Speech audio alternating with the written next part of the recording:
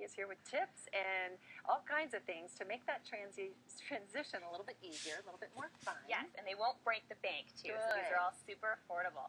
So the first thing to think about, so the morning time routine. How do you get your kids eager to get out of bed in the morning? Is it even possible? Mhm. Just yank the covers off. That's what my mom Throw a bucket of cold You got water. like That's my dad minutes used to take a spray just- bottle.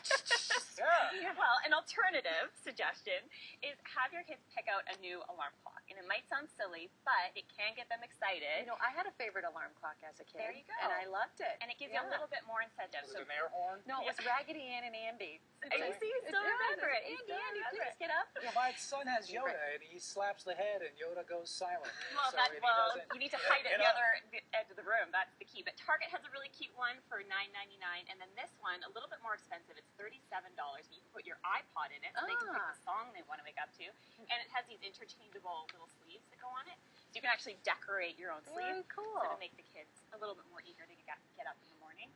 And then something to think about too, if you're doing game night, how to kind of sneak in an educational game to get those all those neurons firing. Uh-huh. And what's cool is kids don't always necessarily want to play the games that are targeted at that age group. They want to say, hey, what are the games that you're playing with your friends, mom and dad, and can I play those too? And there are appropriate ones. You Yeah, have to be Ken's appropriate. house, I don't know. I'm not playing those. Cannot play for your You're not. Yeah, educational for your no, But Last Word is an awesome one that I like to play with my friends. And what's cool about it is you pick a subject, so all about newspapers, and then each person picks a letter, letter C.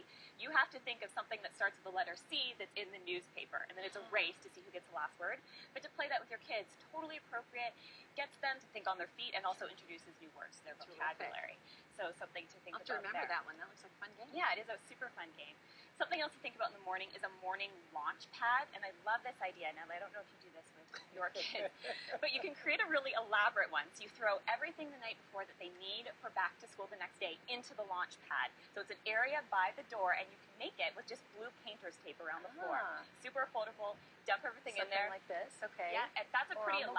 elaborate one. Uh-huh. Um, but again, using this the blue painter's tape, I think is such a fun So idea. using the exercise workout straps and then actually putting their gear on it and shooting it like them a out the door. cannon out to the bus stop. That's another idea That's a too. great I like it. I like it. But but that's re- it is really good because then it, this is all the stuff that's leaving. With Exactly. You. So Keep jump into the the, launch place. pad, make it a game, off you go Perfect. to school.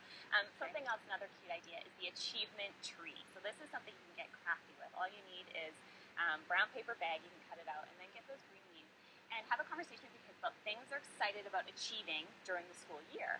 And then write them on the leaves, and then as they achieve them, so I want to get an A in math class, or I want to make the band, then you can put those leaves on the achievement tree, and at the end of the year, you get to see what everyone's achieved.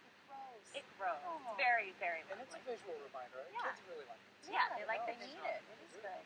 And then for breakfast, some creative ideas too. Now, a mom, it might not be at the top of your list to get creative with breakfast during those back to school mornings. They'll eat it. Yeah. Yeah, But- I thought sometimes a spoon is great. Yeah, here you go.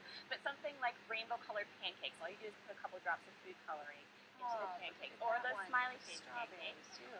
Or French toast. Instead of just having plain old French toast, cut it into little cubes and put them on skewers so it's French toast kebabs. Super affordable. Those are the rainbow pancakes. My Aren't those goodness. cute? That's a Yeah. great way to start the day. Plus, if you're having a bad morning, you can turn that frown and just be like, look, better straighten up. Turn that- Angry pancakes will follow you home. And then something about haircuts. Okay, Okay, so JCPenney all through August is doing free haircuts for kids. Wow. Such a great idea. And they actually, so you can still book your appointment, you have to make an appointment, but they just um, completed their a millionth haircut and they are continuing to do them. Goodness, so that's a great deal. jump in and, because what kid doesn't, you know, they've got a little extra pep in their with a new do, you know? feel good. So Yeah. take advantage of that for sure. Good great deal. stuff, Sandra. Thank you. And the stuff on the website. Smartcookies.com, we've got all these tips and more, so make sure you jump on. And share your tips too. I'm interested to hear from other Good. moms too. Yep. terms of what they're doing. Bring those And dads. And dads, of course. All right, it's the hopscotch workout. You guys, this one looks really good.